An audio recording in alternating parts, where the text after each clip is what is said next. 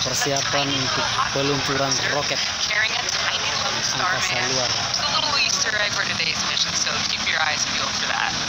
Kita saksikan eh, lagi roket akan diluncurkan angkasa luar.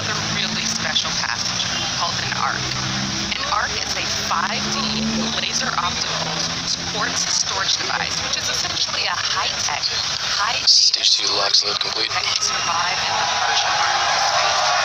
It's Falcon Heavy prep is complete. which an organization whose purpose is to store libraries of human knowledge and data on these devices and send them off into space with interplanetary travelers Falcon Heavy is on internal power.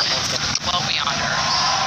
On the Arch that's being launched today, the Foundation has stored Isaac Asimov's classic sci-fi series that Vehicles in self-align.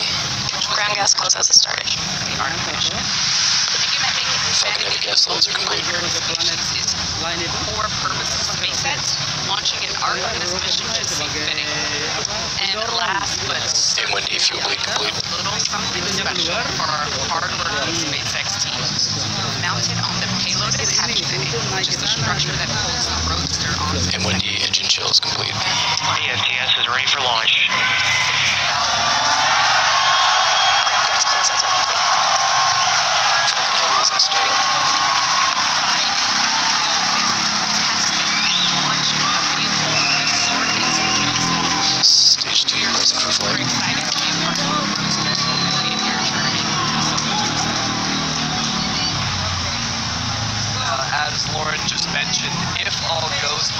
Falcon Heavy will put the Roadster on board into an Earth-Mars orbit around the sun.